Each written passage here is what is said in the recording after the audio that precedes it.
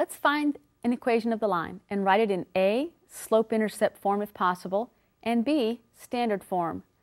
Through the point negative 7, 2, and perpendicular to the line y equals 2x. We have one point and we have some information about slope that we're going to use to build our equation. Perpendicular to the given line means that the slopes need to be negative reciprocals of each other. So the slope of this given line is 2. So the slope of the line we're looking for is the negative reciprocal. So I'm going to put that as slope 1 for the first equation, or the original equation we're looking for is a negative 1 half. So we now have a point and a slope to find our original equation. We're going to use the point slope formula, y minus y1 is equal to m times x minus x1, and we'll substitute in our values for y1, m, and x1.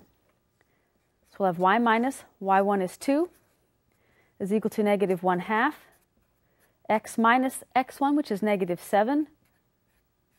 Watch your negative signs. We'll have y minus 2 is equal to negative 1 half x. We'll keep that in parentheses and we'll clean up this minus minus to get positive 7. Now ready to distribute through our 1 half, our negative 1 half. We'll finish one more line here. y minus 2, negative 1 half x minus 7 halves. Make sure you distribute also with the negative sign. We need to add 2 to both sides. So we'll have y equals negative 1 half x minus 3 halves. We're adding 4 halves to each side to give us the 3 halves as our y-intercept. So we have this in slope-intercept form. We're now ready to change this into standard form.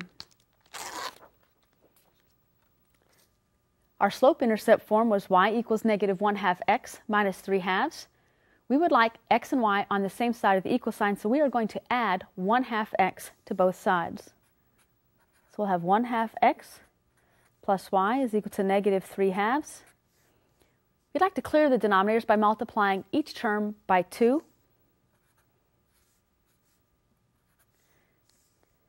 For the first distributive piece, the 2's will drop out and we'll be left with x plus 2y. On the right-hand side, the denominator cancels out, and we're left with a minus 3.